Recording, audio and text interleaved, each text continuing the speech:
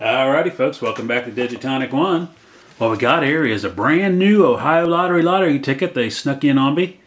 It's uh, the 2016 NBA Cleveland Cleveland Cavaliers Championship $2 ticket. Went up to $20,000. This one just came out yesterday, and uh, I totally missed it. And uh, uh I missed the magazine this month. Anyway, let's see what we can win on this ticket.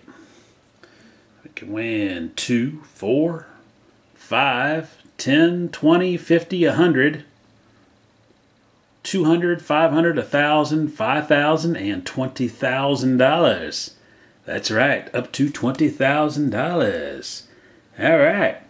And uh, let's see. All right, got something in the mail here today.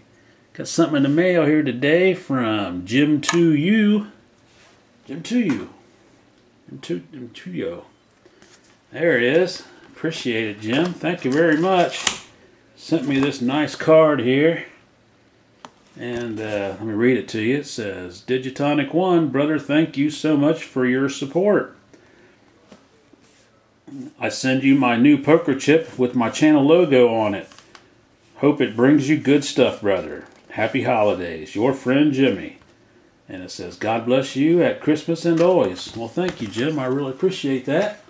And uh, I'll be using this poker chip a lot to scratch. All right.